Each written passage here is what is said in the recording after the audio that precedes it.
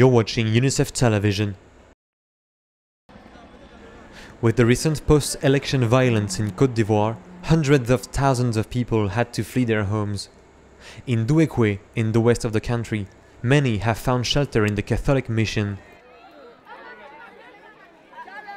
Today, the place is overcrowded, with more than 28,000 people who have come here to get away from the ongoing violence. Most of them are still afraid to go back home. We absolutely don't force anyone to go out because we don't know the conditions in which they'd leave, where they would go, and how they would live. But for those who want to leave, we do our best to accompany them. Among the displaced, Beatrice has lost her husband in the violence. She now lives alone in the camp with her nine children.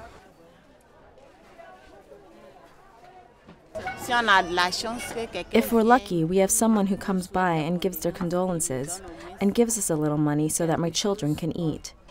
Most of the time, we live here on the floor mat. We try and make a living, but we have nothing to eat. In the camp, more than 2,500 children are in need of assistance. UNICEF's partner Action contre la faim monitors those children's health and bring them a portion of nutritional porridge every day.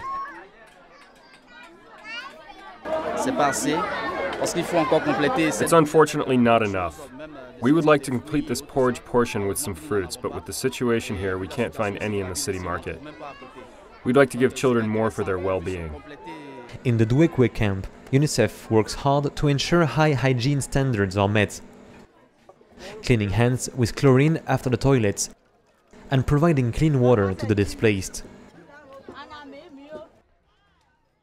In the town of Danane, 150 kilometers north of Duékoué, UNICEF and its partners have built latrines and provide clean and drinkable water thanks to two 5,000 liters bladders.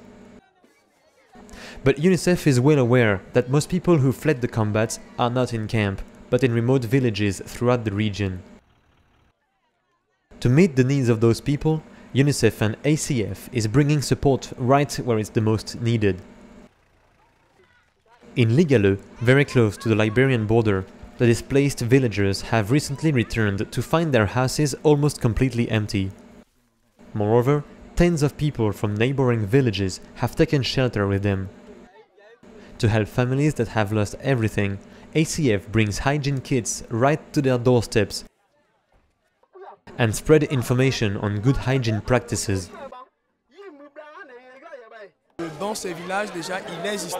There was a sanitation issue prior to the crisis in those villages. The increase of the population exacerbates those issues. We won't be able to mend the water pumps, so we must make sure they get what they need to clean the water. Even though the crisis in Côte d'Ivoire is over, many people are still hiding in the bush, making them very hard to reach for humanitarian organizations. This is Edward Belly, reporting for UNICEF Television. For more information, go to unicef.org. Unite for Children.